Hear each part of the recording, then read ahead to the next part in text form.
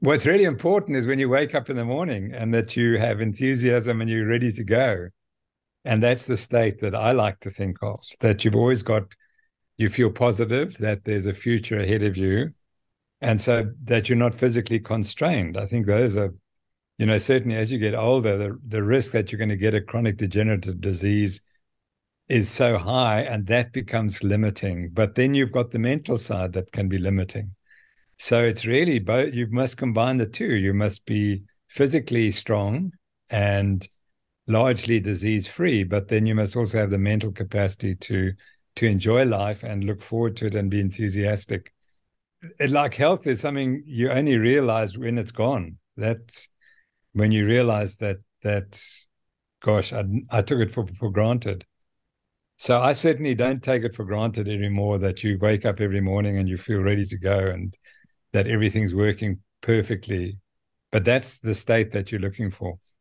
And I think the another is another point. As you get to my age, you start you want to die perfectly. You have to have a perfect death, and you need to build up to that because I, th- I mean you know my father's illness, and that influenced me greatly. And I never wanted to put my own children or grandchildren through that. You know, I want to wake up dead one morning, and that, that's the way to go. Uh, but it takes effort to get there. And and if you do that, if you can delay your incapacitation for as long as possible until your last moment, that that's the ideal. It's the one where you literally you go to bed at night and you you don't wake up the next morning. That's that's the perfect death. And that you don't have a long debilitation. I think that's one of the keys, is this long descent that you get. And I'm, there's no doubt in my mind that that descent is driven by chronic disease, obviously. So you've got to stop the chronic diseases, or you get them so that you don't have major symptoms and and disability. Disability is the issue. I was very active at school, but uh, sport and endurance exercise was never an issue. And then I very fortunately got into endurance sports for many years and was very active and very fit and very healthy. Uh, then, unfortunately, that was the time of the high carbohydrate, promoting the high carbohydrate diet. And unfortunately, I turned out to have severe insulin resistance. And so that this eventually, within a few years, I could tell that there was something wrong, but I didn't know what it was. And I was just thought it was just aging. And then ultimately, after 33 years of promoting this high carbohydrate diet, I eventually converted, fortunately, by reading the book by Eric Westman the new Atkins for the new you, and that was the life changer for me because I realized that that everything I'd been saying was wrong, and I be, and I've very quickly realized as I changed my diet that all the symptoms I'd been developing over 20 years had suddenly disappeared. So I had this miraculous recovery, and then I discovered I had type 2 diabetes. And so then I understood what my problem was. Here I was trying to be very active, but profoundly insulin resistant, eating a high carbohydrate diet and suffering the consequences. And then when I took the carbs out, I became very healthy, and that's that's uh, pretty much when we met. And since then, I, sh- I I see. I say I should be dead now. I'm talking to you from the grave because my father had his diabetes for ten years and then was crippled by it and died. And I've had my diabetes, which is in remission, fortunately. I've had it for well over 10 years. And currently, you know, I don't have any overt symptoms that I'm aware of. So I'm not suggesting that I'm never going to get the symptoms or the the clinical picture of it of type 2 diabetes, the complications. I'm not claiming that. But so far I put it off for for 12 to 14 years, which is which is pretty miraculous. I, as I said. You know, I was very much there when your shift happened from this high carbohydrate, very much endurance athlete, carb loading. I mean, the lore of running and everything, you know, you promoted carb loading in the biggest yeah. way, right? And um, when that shift happened, and I will never forget how fierce that backlash was from the medical community in South Africa. I mean, with our conference, our CME or CPD points were revoked because of the dietitians saying that the information that Eric Westman, Gary Taubes, Jay Wortman, Steve Phinney, you know, you, Rob Cywes, Aseem Malhotra, Jason Fung was putting forward was going to kill people. And here we are 10 years later, right? And has it, I mean, I don't want to say has it killed anybody, but look how much has changed. Yeah, no, well, thanks to people like yourself who supported me, that that made it a lot easier. And and of course my family and and I think that and ultimately I knew that we were right. So that yeah. didn't worry me. So but it was extremely tough. And uh, for a long period, I had post-traumatic stress disorder. In other words, when I talked about the trial, I would get new, I'd get feel sick again, and I'd get all those symptoms, which which was very unusual because otherwise I was fine. But I remember particularly giving one lecture to doctors, and that that was what was really difficult was lecturing to doctors, and suspecting in the audience that there were many who were not taking, who still had the same feelings. But now we passed it, and we produced the textbook, which hopefully you'll draw attention to, which was published about a month it. ago. Yes. Yeah. And that to me is an astonishing achievement because it shows that this diet, the ketogenic low carb diet, is the most studied diet ever, and it's the most effective diet ever. And so, anyone who says, you know, there's no evidence or whatever, well, we put the evidence 500 pages of evidence.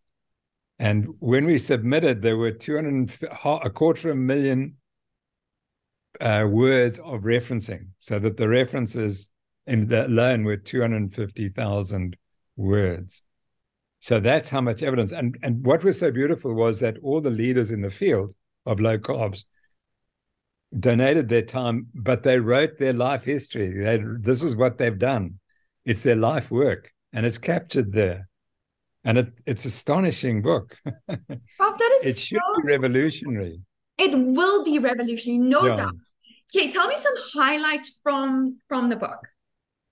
Some of your well, I think the main highlight is that we got all the best people in the world to write on every organ system in the body.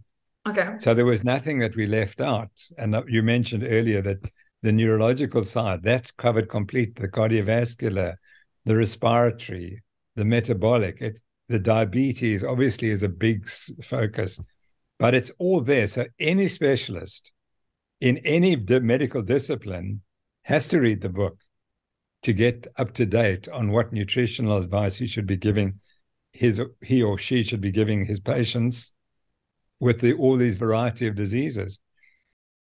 And we found, believe it or not, now these are athletes. They're not the world's greatest athletes, but they middle aged up to say 40 from 25 to 40.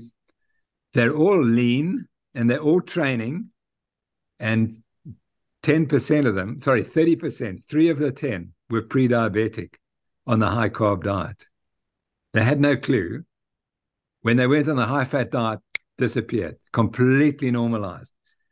So that proves to us that it's the carbs. It's not the lack of exercise, it's not the obesity, because all that changed in the trial was they cut the carb content. They didn't cut the calories and they didn't do more exercise or more, or lose weight. So the only thing that changed was their carb and probably you could say processed food intake. Yeah. And their diabetes completely disappeared. And we've also got a link to their metabolism because those who burnt the most fat, remember we said three grams per minute, they were the ones who had the best glucose control and benefited the most. So many of those were the ones who were pre diabetic, who scored these very high fat oxidation rates. So there's something going on there as well.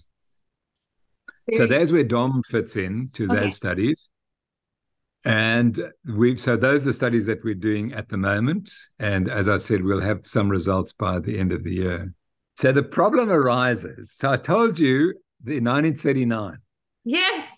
three guys, Boyer, Christensen, and Hansen. They're from they're from Stockholm. Okay. And Boyer, Boyer is the main he's the main researcher, but he's also the main subject. So he gets on the bicycle and pedals for as long as he can. Okay. And what can they measure? They can measure blood glucose. So they measure blood glucose and they can measure oxygen as well. So his glucose goes like this and then it drops and he becomes exhausted and he can't do anything. And they gave him some glucose. And of course, and within five minutes, he's starting to feel better. And in 20 minutes, he says, fine, I can go on forever. And he goes on forever, you see. So, so they show that as his blood glucose falls, he starts to feel tired and weak. And they reverse that and he's fine. But they also showed another thing, which has been forgotten. They showed, they confirmed, or as best they could, that that glucose, all it was doing was raising the blood glucose. It wasn't being used by the muscles to any great extent. Any, it wasn't increasing muscle glucose use. And they do, and there it is. All it is, they said, okay, what happens as you exercise? Your glucose falls, and you must take the glucose, and then that in the brain slowing you down because you can't you can't continue, or you'll damage your brain. There's too little glucose for the brain, so it stops, and you reverse that. So they said it's a central brain mechanism that stops you. So, so, so a year and a half ago, I look at my the slides I've been projecting for 40 years, uh-huh. and I notice in that original study from these also Scandinavians, I notice a problem. That although they show your muscle glycogen goes down, at the same time, they show your blood glucose goes down. And so when you're exhausted, the blood glucose is extremely low. Uh-huh. And they said, oh, we can ignore the glucose. It's all muscle glycogen. But you can't do that because the whole theory up to that point was it's the blood glucose that's important. Yeah. So that's what made me start questioning what was happening. Was the blood glucose the real regulator or was it the muscle glycogen? Okay. And that's why we started testing these different trials to see if you start exercise with low muscle glycogen, can you perform well? And we said, yes, you can. So therefore, the idea that you have to have muscle glycogen is false. And so, so that's the basic point. At this point, I, we we will show it. I hope in these trials that as long as you keep your glucose normal, carbohydrates are irrelevant. You can burn fat, you can burn fat or carbohydrates, doesn't matter. But you can't allow the glucose to fall because that's when you're in trouble.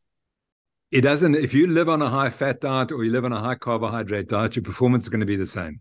Got it. It's not going to be different. Okay, and that's what obviously you have to have the right nutrition. Okay. Which you know you can't be vitamin B12 or iron deficient. That's obviously so. You obviously you need the optimum nutrition, but I'm not sure we really fully understand what is optimal nutrition. Before it was, you know, have lots of vegetables and lots of carbohydrates and grains, and that's not right. Well, we have to get back, as you know, to eating the diet that for which humans are evolved. And we've got to take out the sugar and the carbs from our children. That's where the problem starts. I mean, as you know. And that that's a great challenge. And the the only solution really is that we've got to teach people that you're responsible for your own health and nutrition is number one and exercise is number two and sleep etc so I lived the life thinking exercise was number one, and I proved that's not the case. But exercise is terribly, terribly important. But you can exercise all you like if you're on the wrong diet. You you're not going to. It's not going to help. So the nutrition is so disturbed because of industrial influence on our nutrition. And then we have the medical profession, which is completely controlled by the pharmaceutical industry and the food industry as we exposed in my trial. Yeah. That's that we have to reverse that. And so people have to learn that. And then we have all these vaccines as well. And I mean, you come from your, you know all about that in your in the United States. And and yeah. people now think, well, you you to make children healthy, you vaccinate them. I mean, that's and that's the worst. Unhealthy. Yeah, that's right. So it starts from the mother's pregnancy. She's got to eat properly, as you know. That that's the beginning, and then you've got to wean the child onto proper foods and get rid of all the junk, ultra processed foods. So it's a it's a massive challenge, and it, I don't know where it begins. I'm very hopeful Robert Kennedy wins the election, the presidential election. That is a question question I have for you. Okay. Because he's promised to change the nutrition and he looks fantastic. I, am so glad to be my age. I'm 74 in a few weeks. Oh. And to to look around and to see the people who haven't looked after their health at my age, and they have certain characteristics. They've lost all their muscle. They've got no more muscle. Sarcopenia. And they, they curve forward and they're in this position. And once you see that, I call that the dead man's curve. So, you, you know, you've got to you've got to get rid of that dead man's curve. Mm. And so I do that with with lots of gym work and CrossFit. Thank you. Sorry. now I must tell you, of course. So, so when you invited me to the CrossFit conference yes. in Madison, Wisconsin, and you told me I had to go to the gym the next morning. And we went. And then and then I couldn't walk for a week. So and then when I came back to Cape Town, you put me in touch with Tyrone. Yeah. And we have just had this amazing relationship and we've had such a good time that he's now training both my daughter Candice and our granddaughter Annabelle.